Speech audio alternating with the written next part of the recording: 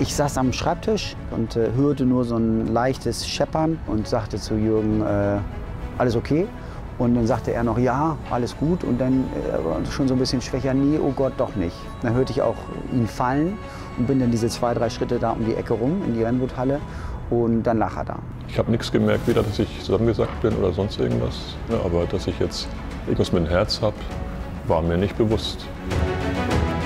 Dann wurde er ganz schnell tiefblau. Dann bin ich schnell zum Telefon zurück, Feuerwehr angerufen. Äh, Es ging wirklich nur um, am, darum, am, an der richtigen Stelle diese Herzdruckmassage zu machen. Ich habe gedacht, ich breche ihm alle Rippen, ne? was aber auch wohl nicht schlimm gewesen wäre.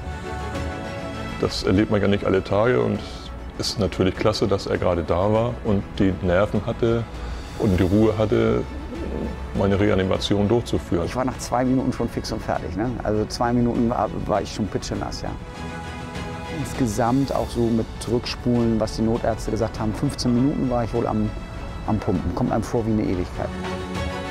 Ich glaube, die haben mich vier Tage in dieses Wachkoma gelegt und wenn ich mich sozusagen erhole, dann bin ich erst fünf Tage später wieder aufgewacht. Wenn ich nicht da gewesen wäre, ja, dann wäre es das, glaube ich, für ihn gewesen. Kommen mir jetzt noch leicht ein bisschen die Tränen. Es ist schon klasse.